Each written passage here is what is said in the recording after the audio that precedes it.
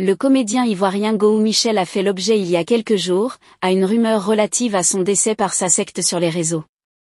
En effet, la toile s'est enflammée à l'annonce de la mort de l'acteur ivoirien. Regardez la vidéo jusqu'à la fin pour en savoir plus sur cette histoire et n'oublie pas de vous abonner à ma chaîne pour plus de vidéos.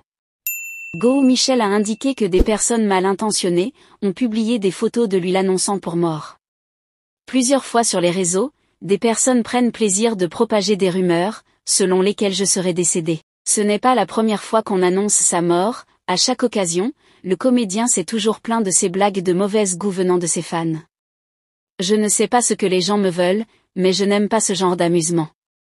Je ne suis pas du tout content, ce n'est pas avec tout qu'on joue.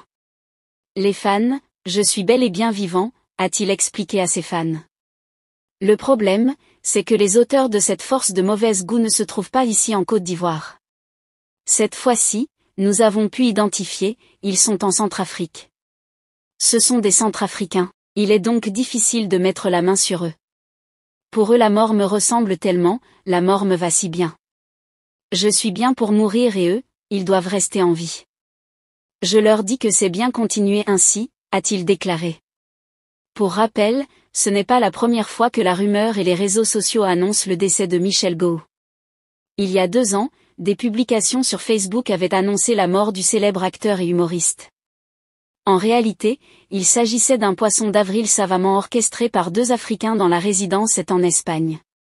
Michel Go, né le 10 décembre 1963 à Gagnoa, en Côte d'Ivoire, est un acteur-réalisateur, producteur et scénariste ivoirien, de son père d'origine burkinabé de par sa mère.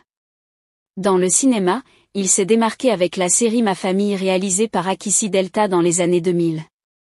Si vous avez aimé la vidéo, n'oubliez pas de cliquer sur j'aime, de commenter et de partager pour agrandir